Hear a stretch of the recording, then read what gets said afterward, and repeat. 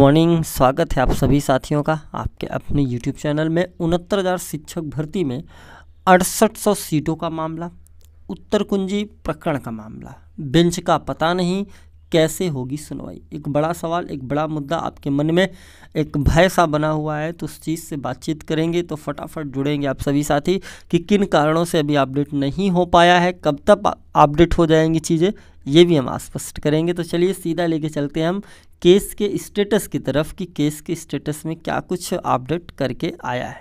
देखिए, ये जो पहला केस आपकी स्क्रीन पे मैंने दिखाया है, ये है तेरह एक सौ छप्पन दो हज़ार बीस। ये है आपको पता है, अड़सठ सौ सीट मामले का हाईलाइटेड केस।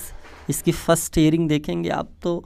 ये लगभग वही आठ अगस्त को, और इसके बाद जो अगली हियरिंग यहाँ पे लगी है, वो थर्ड नवंबर को लग गई है, ठीक है? लेकिन बेंच का पता नहीं कि कौन से जज साहब के बेंच में यह मामला लगेगा। महेंद्र पाल एंड अदर्स के नाम से ये मामला है।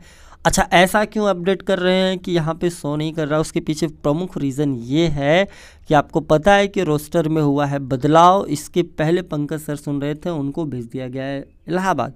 तो अब जो नई बेंच बनी है सर्विस मैटर के लिए, उसमें ये मामला जाएगा। छुट्टी बीत चुकी है।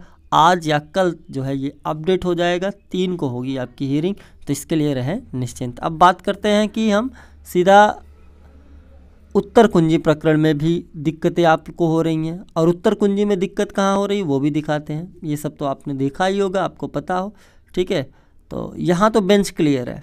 बेंच को लेकर के यहाँ पे किसी प्रकार की दिक्कत नहीं है, लेकिन दिक्कत कहाँ है?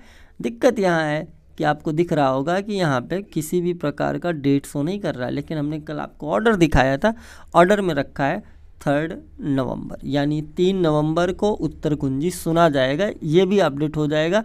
इसके लिए आप सब बिल्कुल निश्चिंत रहें। बेंच वही रहेगी आपकी, वैसी बेंच में मामला सुना जाने का, उसमें दिक्कत नहीं है।